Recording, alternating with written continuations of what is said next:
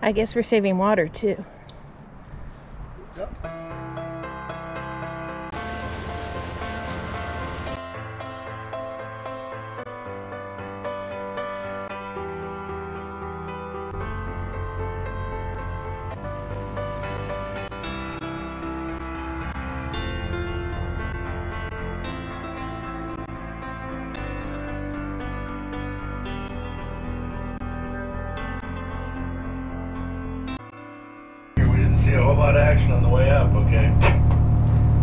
That's good to hear. Um, I would say uh, tonight at midnight we're going to start seeing a lot more dungeon pots in the water, however. Yeah, I saw a couple guys go by us already. It's tonight opening night. Yeah, I think it's uh, it's the 15th, so I suspect it is, it's at midnight tonight. We are headed into Berg Bay, which is approximately 15 miles southeast of Wrangell. Here's Wrangell, and we're going up around the north end of Wrangell Island, down Eastern Passage, through this little channel, and onto Berg Bay. We are headed into Berg Bay today.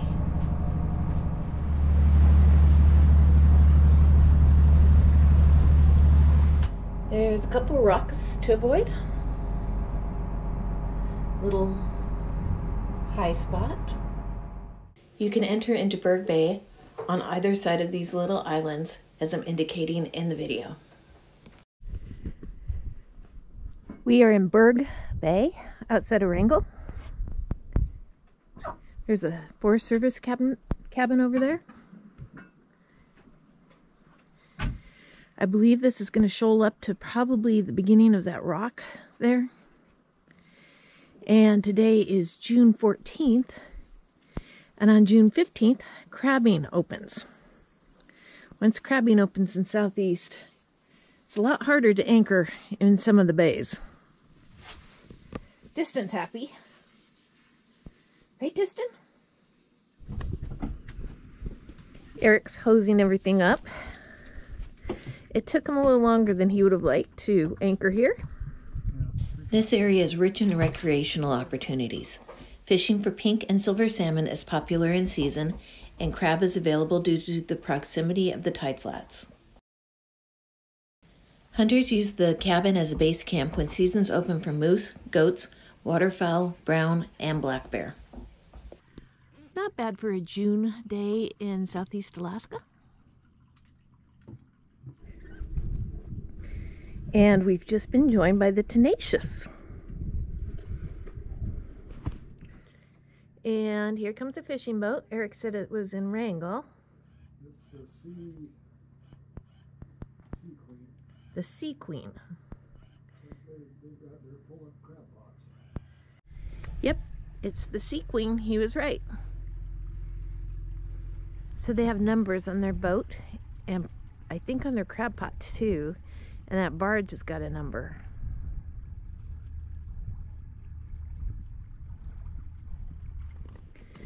So we think that's his barge.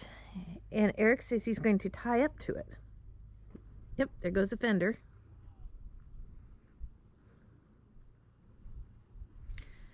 So I would guess it would be safe to anchor in that area. Yep. Yeah, if it doesn't blow. Yeah. That's a lot of crab pots. The fishermen in Alaska work hard. It is 7 o'clock at night. Look how beautiful a night it became. Gorgeous. We have the screens up because there's no-see-ums out.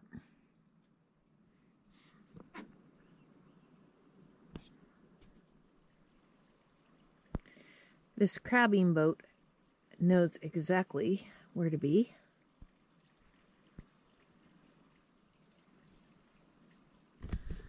Woke up in the middle of the night and trying to figure out what's going on over here.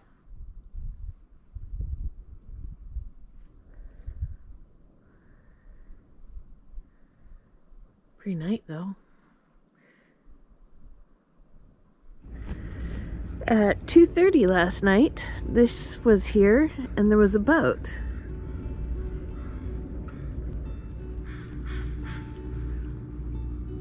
A lot of crows. I saw a boat out there just a minute ago. Oh, there it is.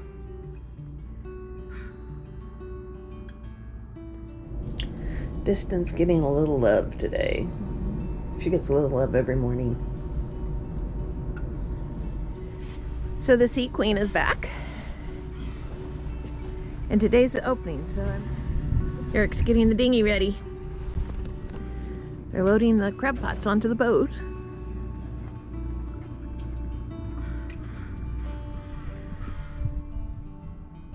They've loaded up the boat and now they're just dropping the pots off.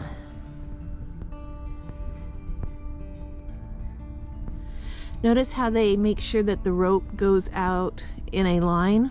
You don't want to throw the rope down in a big bunch because you might get it knotted and it might just go down and take the buoy down. You'll never find your crab pot again. If you want to know how I know this, we've done it. There went $500 crab pot. I hope they leave a little path for us to get out. Goes another one.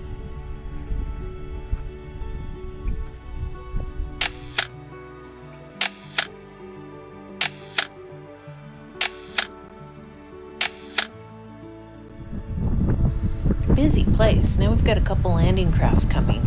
I think they're going up and doing some maintenance on the cabin. I don't quite have this figured out. This showed up last night and it appears to be a house. I don't know how it got here, but it's tied to the float, and then they tie their boat to the to the float house. Looks comfortable.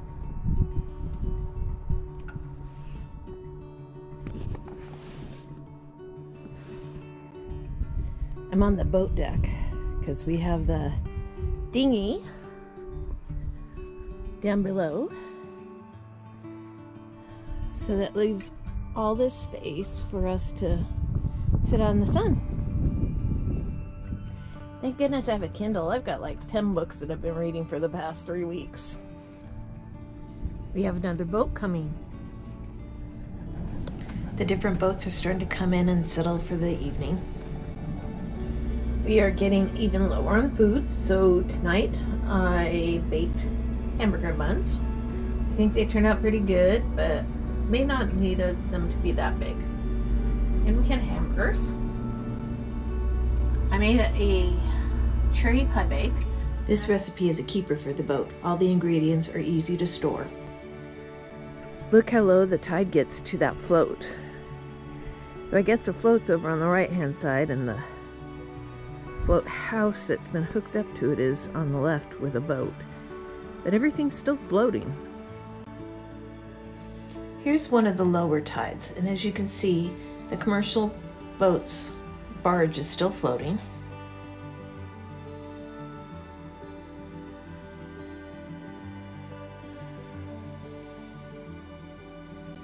And the Forest Service float is still floating.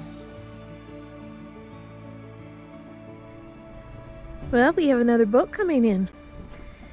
It's a Kadey-Krogen, and it looks like they're going to look for a place to anchor.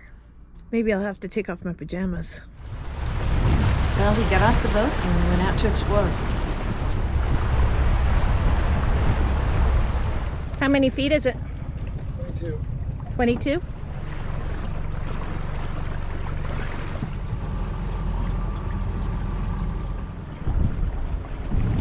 That is quite a house that floats. The Berg Bay Cabin was constructed in 1965 by Wally Watts, Alfred Ogland, and Chuck Jenkins Sr. Eric's down there doing something to keep the boat from floating away, I hope. And this is the Forest Service cabin. There's a nice little fire pit and a place to grill food. I have my trusty bear spray and my fly swatter. Right now I'm thinking the fly swatter is more important. He has discovered that there are lines to tie the boat up to. There's Distant trying to find as much grass as she can so she can throw up later.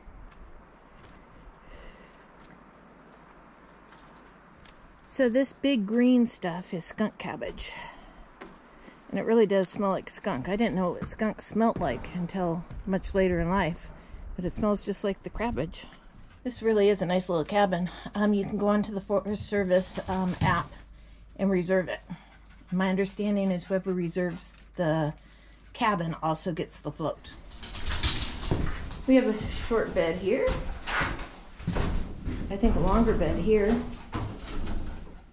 Dining table.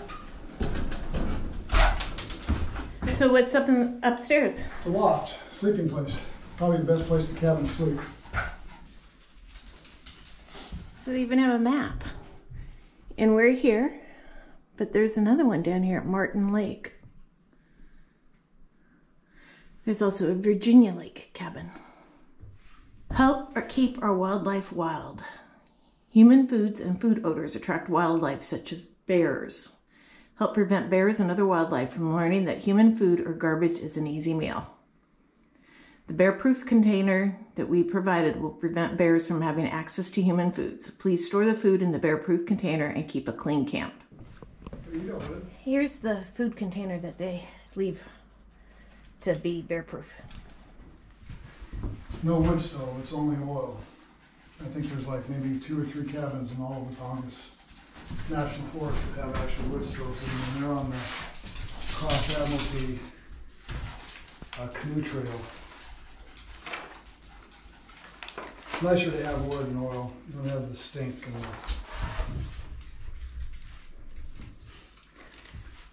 Well, we're going to explore the trail just a little bit. There is a boardwalk going to the outhouse and then all the way up to Berg Creek, which is four miles away. My understanding from people that we met in Wrangell is they've been up here several times and they have seen bear scat, but have not actually run into bears but it is advised that you are very bear beware if you're up here. Personally, I'm okay with the bear spray, but I'll feel a lot better about this stuff when uh, Eric has a, a gun. Distance not on a leash, which is not normal for her, but Eric says we won't go far. Hikers will find a trail that takes off from the cabin and travels through the grass flats. The trail is well maintained for the first 2.5 miles and maintained in a passable condition for the next 1.5 miles. The trail becomes quite difficult when it takes a turn up Aaron Creek, where it travels another 4 miles to the Berg Basin.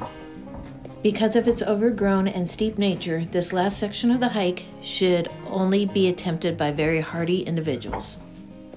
The trail from the cabin to Berg Mountain was originally contracted as a mining access trail in the early 1900s. Another trail connecting the cabin to the tide flats was built by Gordy Edgars and his Forest Service crew in 1966. The trail was originally planked in the mid 1970s. In 1989, the four mile trail was replanked. The Wrangell Teachers Association was vital in providing volunteer labor to lay the new planks. The United States Forest Service helped guide them in their efforts and provided the materials.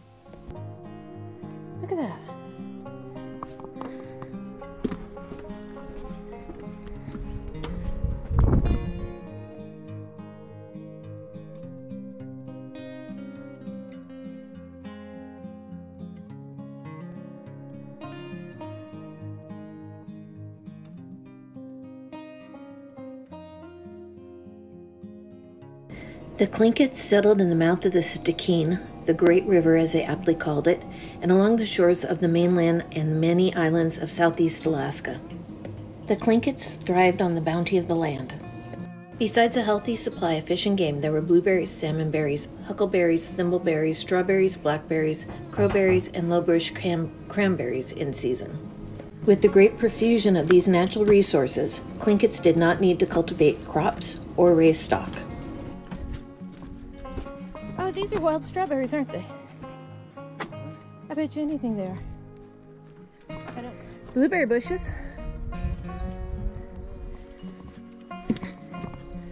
Look at how dense it is. I mean, can you imagine trying to get off trail and go someplace?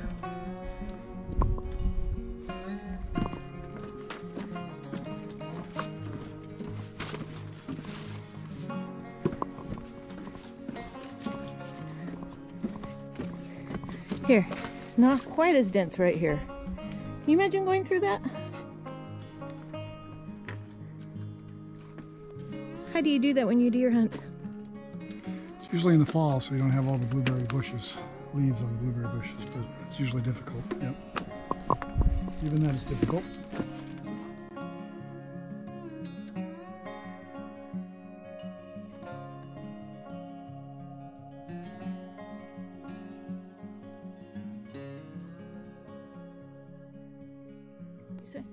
Nice cabin.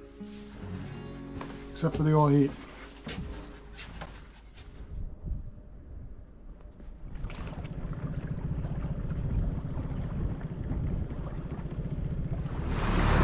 Idle time. You can see the crabbing boat moving around and pulling its pots. We heard there was some fun dinghy rides in the tide flats on the bay next door. We didn't go up there, but we did go check out the bay.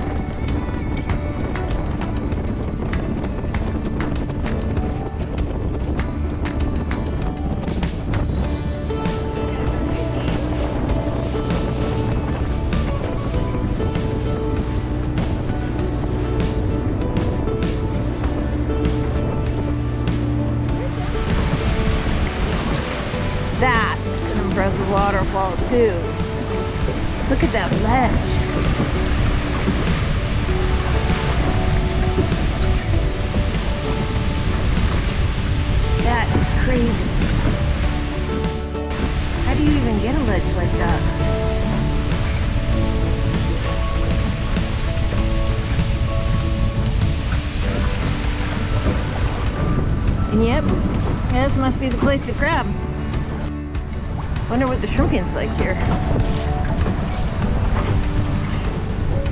So the same thing that the crab must eat, the salmon must eat.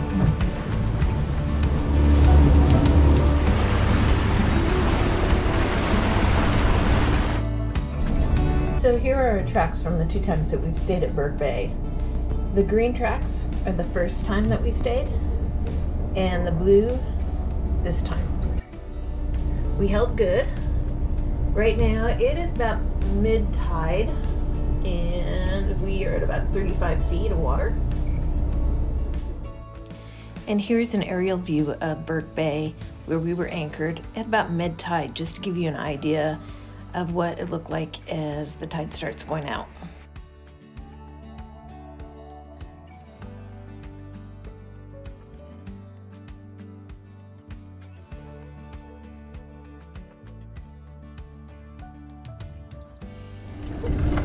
Pulling anchor.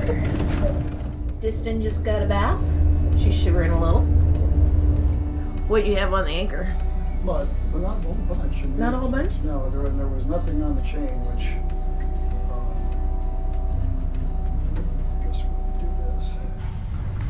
He pulled up a lot of his crab pots, so I'm guessing that he wasn't catching much crab in here and he went to set them somewhere else. And bye Berg Bay. We're off to explore someplace else. What a great day.